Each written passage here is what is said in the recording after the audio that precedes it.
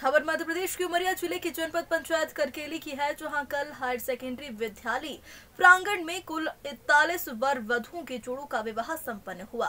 मुख्यमंत्री कन्या विवाह योजना कार्यक्रम की शुरुआत जनपद पंचायत करकेली प्रांगण से बारात गाजे बाजे के साथ निकाल कर की गई। बारात में बांधवगढ़ विधायक शिवनारायण सिंह तथा पूर्व मंत्री तथा पूर्व सांसद ज्ञान सिंह शामिल हुए। मुख्यमंत्री कन्या विवाह योजना कार्यक्रम की शुरुआत जनपद पंचायत करकेली, प्रांगण से बारात गाजे बाजे के साथ निकाल कर की गई। बारात में बांधवगढ़ विधायक शिवनारायण सिंह तथा पूर्व मंत्री तथा पूर्व सांसद ज्ञान से हुए शामिल। बारात की अगवानी हायर सेकेंडरी स्कूल प्रांगण में कलेक्टर और उमरिया जिला प्रशासन के द्वारा की गई है। बारात अगवानी के पश्चात विवाह मंडप में उपस्थित आचार्यों के द्वारा तालीस वर वधुओं के जोड़ों का विवाह वैदिक मंत्र उच्चार एवं विधि विधान से कराया गया है। तथा वर वधुओं के विवाह के पश्चात मंचासीन मुख्य अतिथियों के द्वारा उपहार भी प्रदान किया गया। मंच कार्यक्रम में मुख्यमंत्री कन्या विवाह योजना के मुख्य अतिथि बांधवगढ़ विधायक शिवनारायण के द्वारा अपने उद्बोधन में ये कहा गया कि जब से मध्य प्रदेश में भारतीय जनता पार्टी की सरकार बनी है, तब से गरीबों के हित में काम कर रही है, जिसका एक उदाहरण मुख्यमंत्री कन्या विवाह योजना है। जिसके तहत गरीब कन्याओं का विवाह कराया जाता है।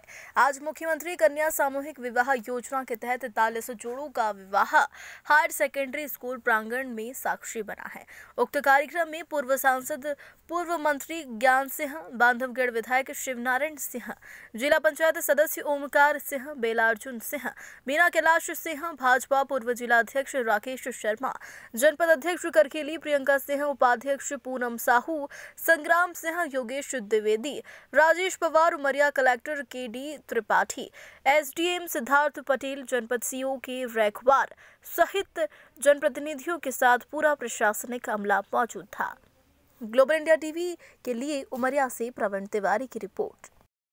सबसे पहले मैं तो आपको बता दूँ, कोरोना काल के बाद हमारे प्रदेश के मुख्यमंत्री श्रीमान शिवराज सिंह चौहान जी की नेतृत्व में कई वर्षों से योजना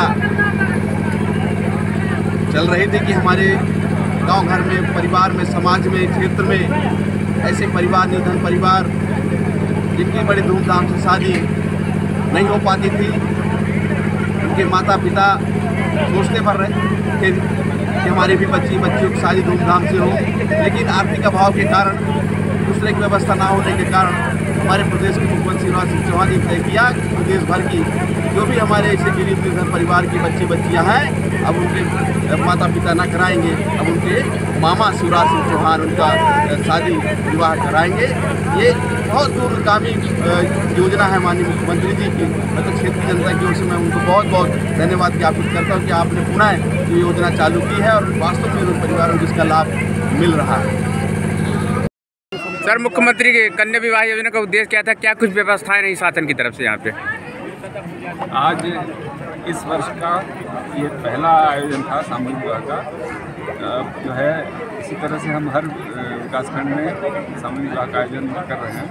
पिछले दो साल के कोरोना के गैप के बाद इस वर्ष ये आयोजन किया गया है। इसमें बहुत ही ज़्यादा उत्साह है। और लगभग बावन तिरपन जोड़ों में रजिस्ट्रेशन कराया था, जिनमें से इकतालीस जोड़े ऑलरेडी यहाँ आ चुके हैं।